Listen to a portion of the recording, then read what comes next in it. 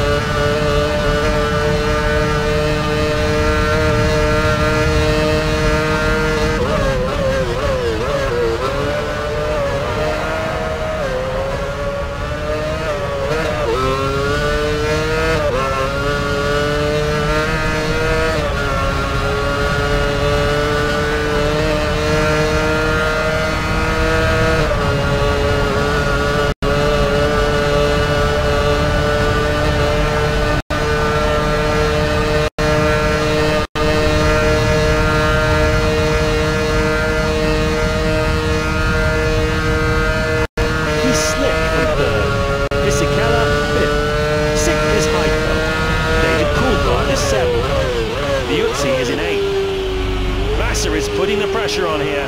He's just raced a 129.45. That's far out racing right The gap is now 2.7 seconds.